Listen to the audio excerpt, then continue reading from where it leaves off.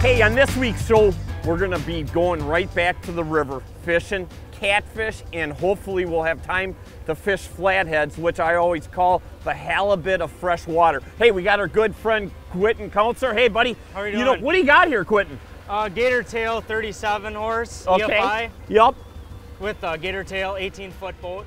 Now, a boat like this, you guys, you know, the deal is you can't go and catch bluegills or dogfish and transport them. So the nice part about a boat like this, we can get where most people can't go. This thing is unbelievable. Literally, I've seen this thing go across land. I've never seen a boat that could take as much abuse as this thing can. It just goes and goes. The nice part is we get back into these back bayous and we catch our bluegills, we catch our dogfish, and then we can go back out into the main part of the river without leaving the river itself. So that's the key to having a boat like this is getting where other people can't go. So let's see what this thing can do. Hey, and stay tuned. Hopefully, we're to catch some big catfish and maybe a couple of big flatheads tonight. I'm excited. I'm pumped. Let's see what this boat can do.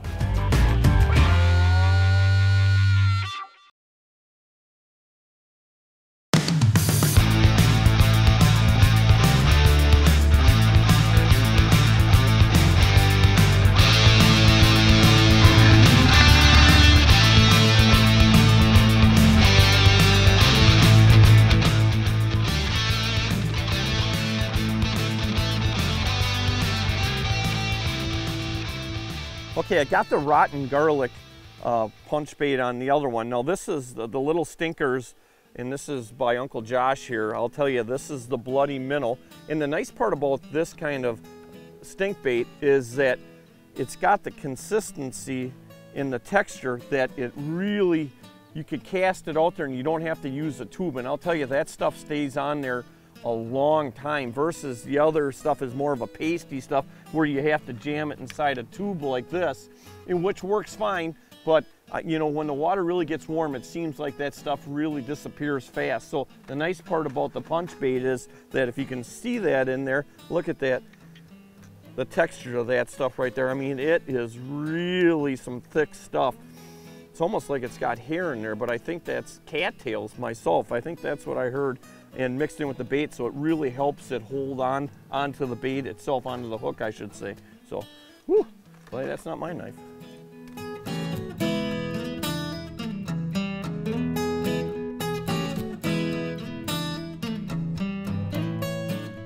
Man, put the lid on that thing. That thing's, oh, I worked at a wastewater plant for a while and it didn't even smell that bad at all.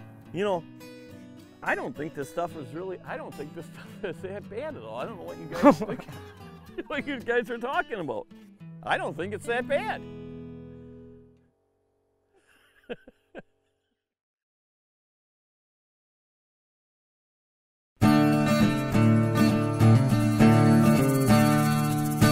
Here we go. Oh, I got the first one the other day, the night. Look at that. That's what they call a fiddler.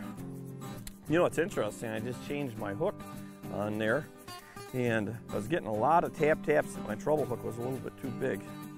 So, quitting. I know we can do better than that. Ooh, I got another one, but yeah, it's not very big. Might be a little bit bigger than that last one. Just again on that punch bait. Yep, just a little. My dad always called these little silver tails young catfish. A little bit bigger. and A lot of guys like to eat them. A little bit bigger on that. Boy, I went with that new style hook with that spring on there. And I'll tell you what, I haven't missed one though.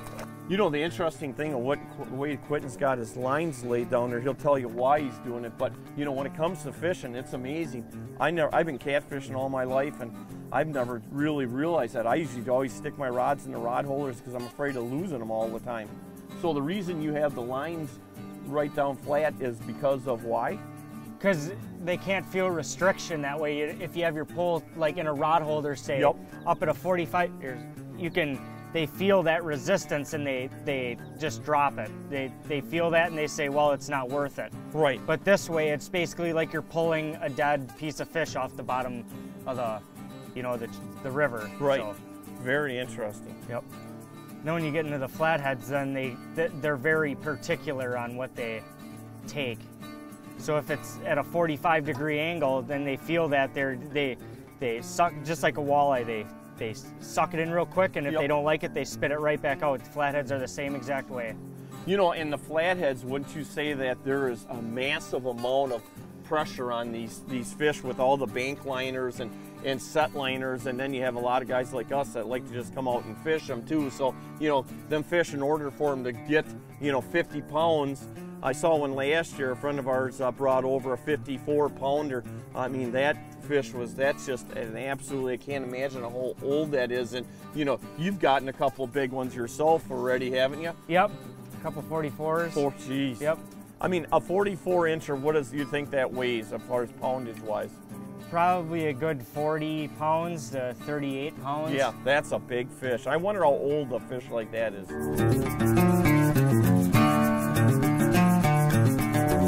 It's funny, all the fishing I do, and people start talking about when you're catching catfish, nobody wants to handle a, a catfish. You know, they're always thinking that the stinger is going to get them, and it's really, you know, not a stinger. Everybody thinks that the whiskers here, and that's the way that they sense everything and feel the way through the dark, murky water.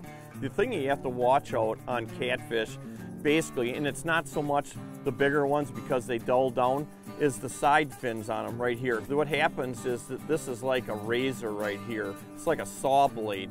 And what happens most of the time, they're either going to poke you right here. When they're young, they're real sharp. Obviously, it's to, to you know, protect them so they can grow up against predators. But what happens is when you throw them back, these rakers is what I call them right on the side, right here on the pectorials, you know. Um, that's what's going to get you. That's what they call a stinger. So it's really, it's not the whiskers right here. It's just the fins right here. And it's kind of like a bee sting, you know, when they catch you like that. When you, and most time when you're throwing them back, because you're throwing them like this, you go, you rub your fingers right across that raker right there, and that's what cuts you, and you get that poison in your skin. Again, basically what I do is I handle them like this all the time. I got a good firm grip on them. I got the pectorials in my finger and I'm pushing them forward so they can't go anywhere. So I'm in control. And when I go to let them go, I don't throw them. I just get them over the water like this, you know, and drop them just like that. That's the proper way to release a catfish so you don't get stung. You know, normally when you're fishing stink bait, you know, this we call punch bait, you don't get a lot of really big ones. You know, if you get one that's, a, you know, a channel cat that is, uh, you know, let's say if it's 10 pounds, that's a pretty decent sized channel cat on the, the, the stink bait. Uh, versus the cut bait, it seems like once you say quitting that, you get a lot more sizable catfish Oh, yeah. Yep. off of that. Yeah. So I'm uh, I'm looking for numbers myself right at, oop, at this time. Look at that right. Oh, moly.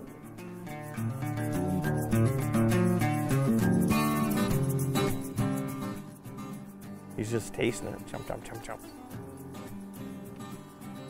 Interesting how you like to keep that line down. I'm going to try he's on this one right away. I got a bonanza here. Just got to get one the bowl. Boy, ever since I started laying my lines down a little bit lower to the water, I've gotten a lot more bites. I haven't connected yet, but man, I never, like I said, you know, when it comes to fishing, I fish every day, and I'll tell you, I say it over and over.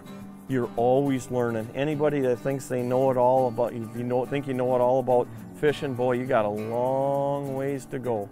You know, I don't think a lot of people realize when you start talking about catfish and especially the flatheads, you know, how sought after they are. You know, I always say this myself. I think a flathead, you know, is uh, definitely the halibut of fresh water. The meat is real firm and snow white and uh, has, you know, it's a solid. It's not like a real flaky fish. Oop. Oop. There you go.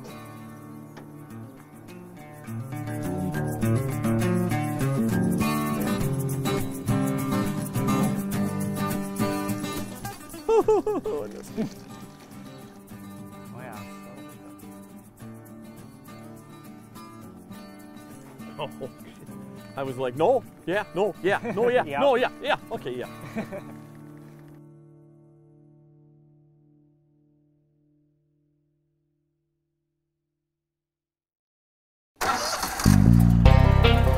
hey, son, is that a Hemi you got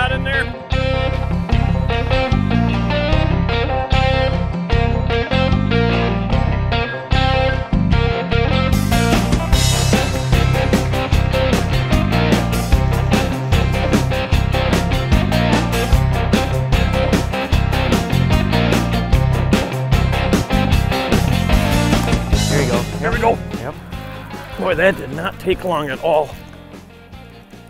Oh, Yep. nice That's fish. a, that's a flathead. nice fish. That's a flathead, Larry. Nice fish. No, maybe a catfish. Nice fish. Boy, I tell you, I just threw that thing in there, you guys. It wasn't even in there for a couple minutes. Oh, yeah. Oh, moly. Quitting. oh, man. He almost took the rod. I'm used to having rod holders. He almost took the rod right out of the boat. There we go. Nice job.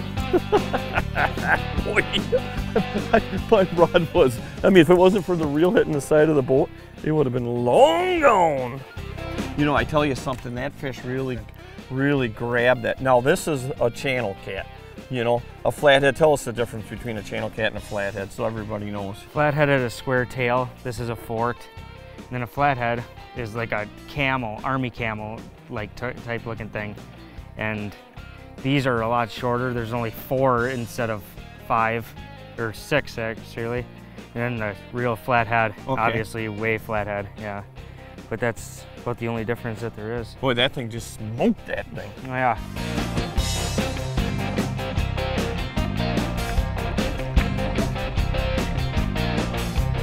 When you're using bluegills, now I'm gonna take a few scales off them so I can get that circle hook through there, kind of work that through. Now we caught these bluegills on the river in the back bayou right there.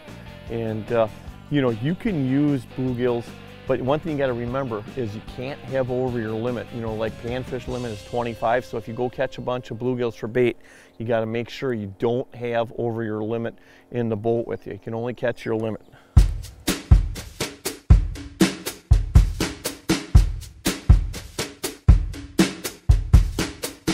Typically when they start pulling a little, I leave the drag open so it's, you know,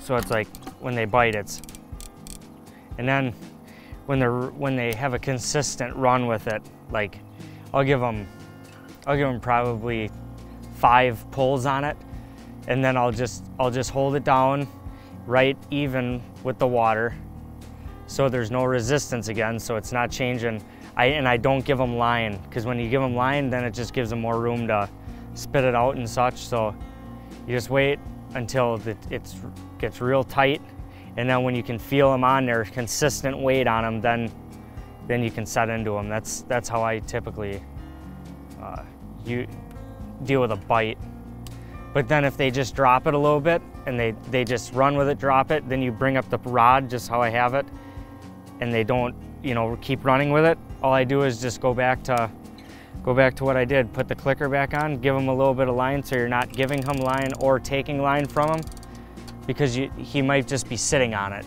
A lot of times they just sit on them and then they won't they won't take it back to their hole or underneath the trees. They'll just they'll just wait. So he's actually got the bait in his mouth, you're saying? Yep. Okay. Yep. Wow. They'll just they'll just sit there with it.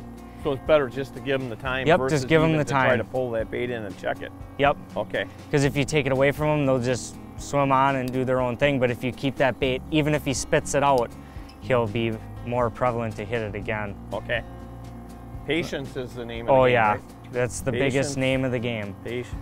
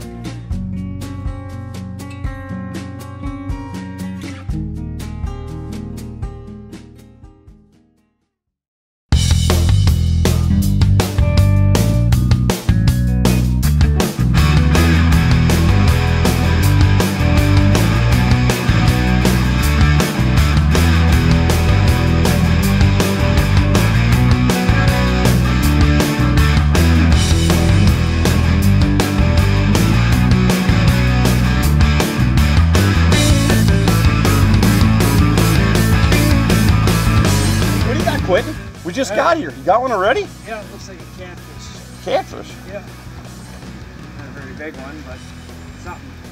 Something's better than nothing, huh? Got it. Look at that sucker. Ooh, a small flathead. It is a flathead. Let's Yep. show that. Yep, really small flathead. Hey Quinton, I know we just caught this flathead and I know that we're gonna get a big flathead. You know, the other night when we were out here, you know, we had four on, we lost them, uh, caught a couple nice catfish, but you know, catching flathead isn't like a thing that uh, you just come out most of the time and just catch a whole bunch of them. I kind of kind of think of flathead fishing as like musky fishing, you know? Instead of the 10,000 casts, so we just cast our four, five, six rods out here and sit here and, and BS about all the things about life and then wait for the fish to bite. So it's not quite as much work physically as it is until you get one on. Once you show the difference between a catfish and a flathead. A channel catfish will have a forked tail. As you can see, that's it's flat, like a Okay. squared tail. Yep. And then the head is really, really flat, like like instead of a channel catfish, it has like a mound on it. And then these have uh, six barbels right here. This is what they're called. And catfish has, I think, eight. Okay. Nine of them. That's the difference. so that's about. And then this one's like camel, Yep. like camel They are colored. so cool looking. Yep. You know, and what is the size of them? Let's go over and people so people know when they come out. And you should know the difference between a flathead and a, and a channel cat because on our system there is no size limit on channel cat, but on flatheads there is strict regulations because they are everybody's after them nowadays. You know, between the set liners, the bank liners, and then guys like us that that like to do hook and line and sit and wait for the fish. You know, these fish are just, they've really, over the last 10 years, there's a lot of pressure on these fish. So what was a good thing the DNR did, they put a slot lim- limit on them now. And tell us, you know, what is the slot limit? 30 to 36 and 42 and up. Okay, so you can keep them between 30 and 36 Yep. and 42 and up. Yep. Okay, that's Yep. great. Hey, let's, uh, before we let this little guy go, let's put him down so people can, let's get a good shot of him.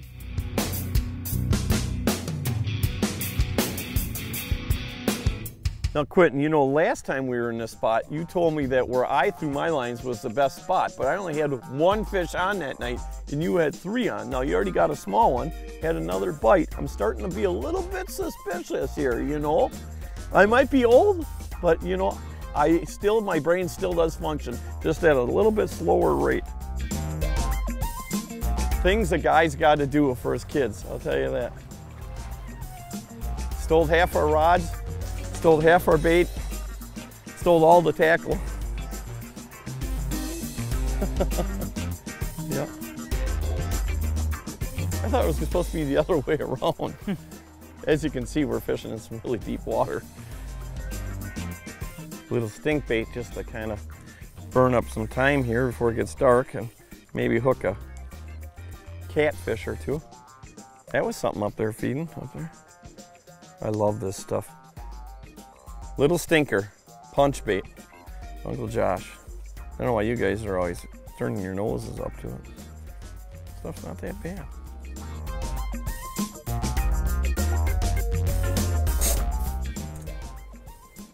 I got him. Good deal.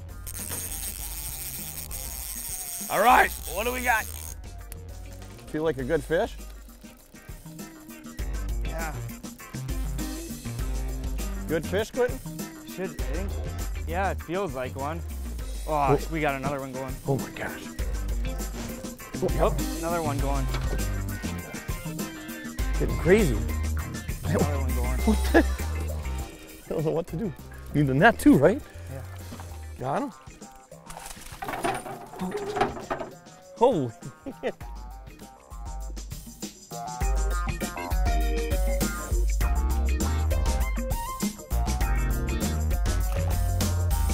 What a great way on this gator tail, just to take these rods and go right through the bolt like this. Yeah, that's it. Keep you from moving left to right. I just need to clean my shoes. Everybody says my feet stink, I don't know why.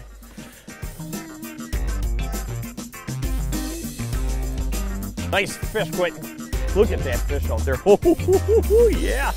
You are hot tonight. Yeah, this is a pretty big one here. That's a nice fish. Look at that big swirl up there. I'm gonna get the net for this one, buddy. Look at that, getting right in there. Yep, getting right in. There he is. Oh, There's a nice one. That's a really nice one. That's a nice fish. nice job. When you're fishing for cats, you strictly use circle hook- hooks. Yep. And, and explain why we're using a circle hook. Well, it's got that, just to explain the circle hook just a little bit. Yeah. It's just a basically shanked hook, but then the tip is just bent just ever so slightly. If you can see that against my shirt, if that makes perfect. it easier. Yep. It just has that little point.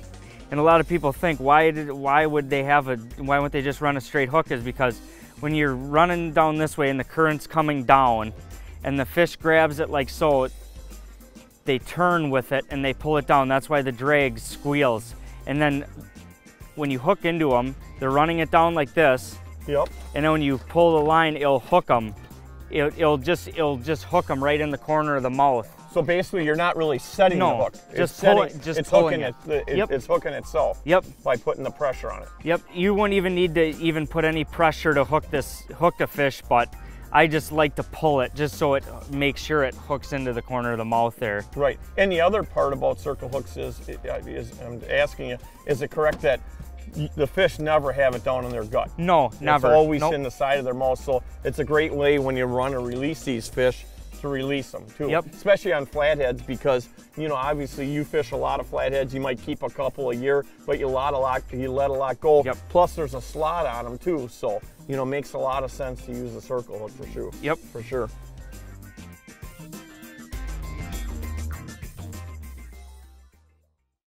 Quinton, you're on fire, man.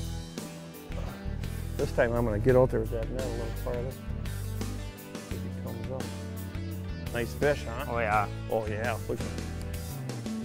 I think we'll be surprised what this one is. I have a feeling she's a flathead. Really? Yeah. But it could be a catfish though. Yeah, it's a catfish. Never Yeah. mind. There we go. Nice job, Quinton. All right. Hold that baby up.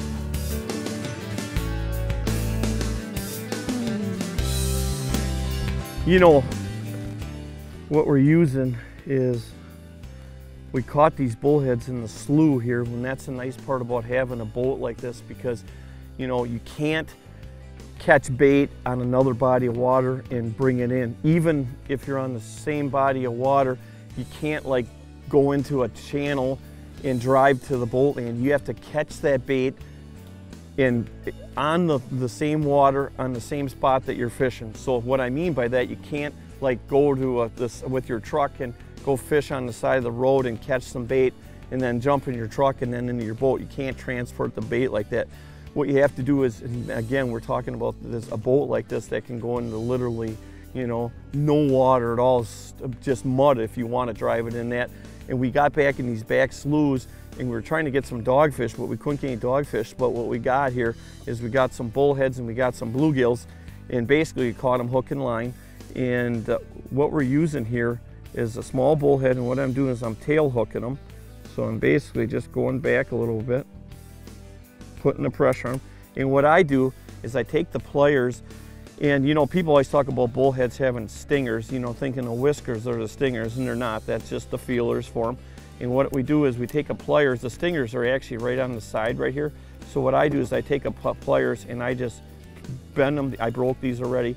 I break them off, you know, just like that. So I broke them off so when the when the flatheads come up and go to grab them, they don't feel that pointiness from the stingers on the side, which are the pectoral fins. So basically that's it. And the smalls, I kind of match the hook size with the size of bait I'm using.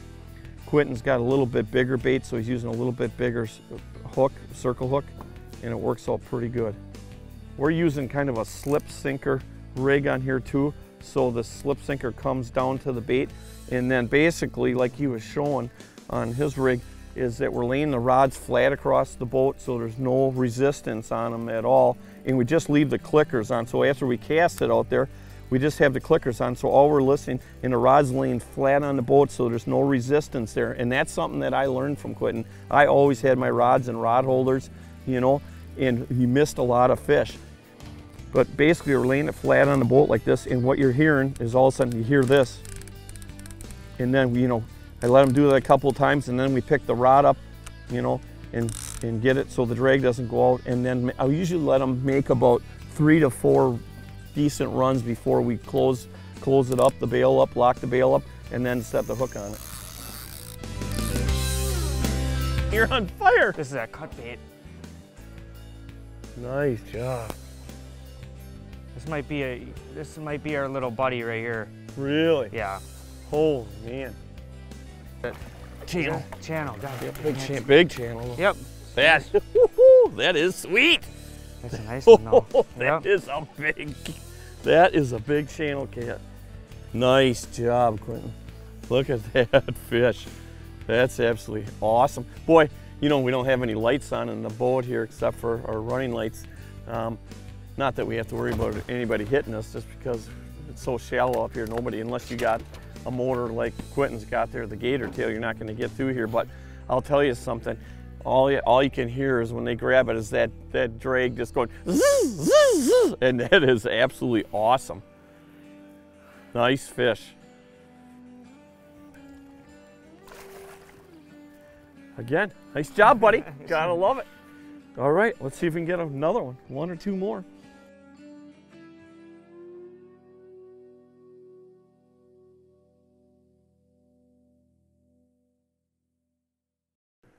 He's running like crazy with it. He's still going with it. Watch out that stick jam.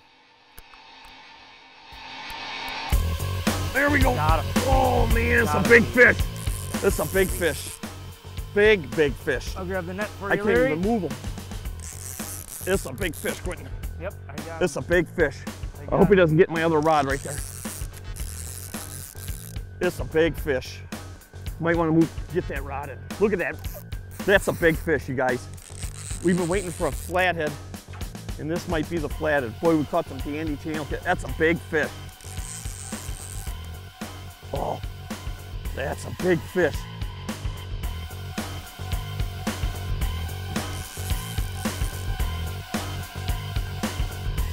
That is a big, big, big fish. You guys, this is a big fish. Big fish. I got a 100 pound test on here. I can hardly move this fish. Oh my gosh. Right here. Oh man, it's a big fish. Look at that fish.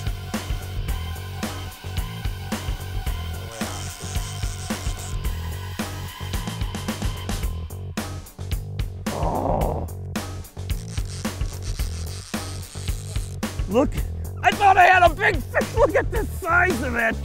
Holy moly. Look at that, you guys. Look at the size of that turtle. Oh my gosh. Not that sucker once.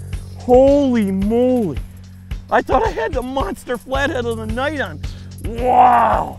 I mean, that thing absolutely, when I set the hook into that thing, holy moly. Look at the size of that, that snapper. Oh man, I, this guy would take your hand right off you guys. Holy, I haven't seen one that big in a long time. Look at that. Oh, I can hardly hang on. Look at the size of that thing. Woo! Yeah, right up. Yeah, look at that. You know something? I can tell you something right now. I'll guarantee you guys five bucks if I drop this flat flathead on the floor. There'd be a camera guy and a Quinton on the boat. look at that.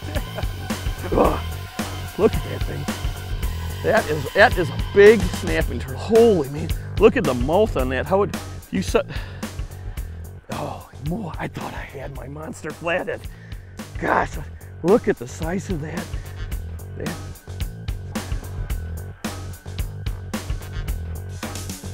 Holy moly! I'm gonna get him out of the boat. Look at the the neck on that thing. Hey, you got me all wound up. I thought we had the monster flathead on it. There you go. Look at the head on that thing. Oop, get on my line. I would not want to get bit by that, I can tell you that much. There, get out of here. Whew. Dang it. I'm like, wow. Holy moly. That is one nasty, nasty looking creature. I'll tell you that. I, you know what? Before I was kind of wading around out there, I certainly would hate to hate to have Oh, yeah. that thing come up and take a bite out of mine.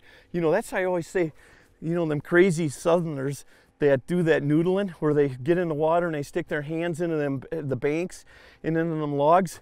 Boy, I'll tell you, there ain't no way I'm sticking my hand in this water. No, way. No. Man, that thing whooped me. All right, let's keep moving.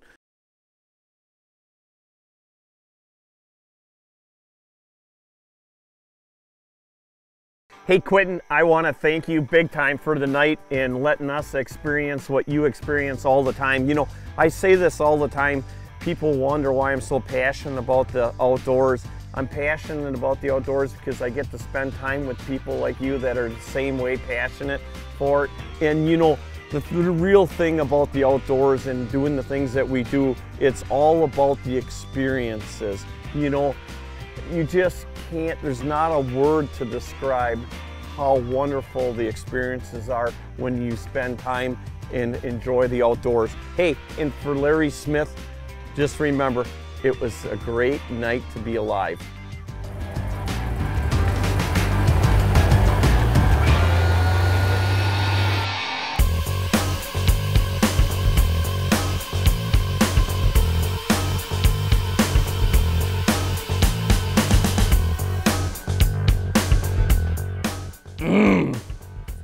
I think that was some type of moth. You know, I didn't. I I didn't bring it. I think I'd be better off with a butter and jelly sandwich.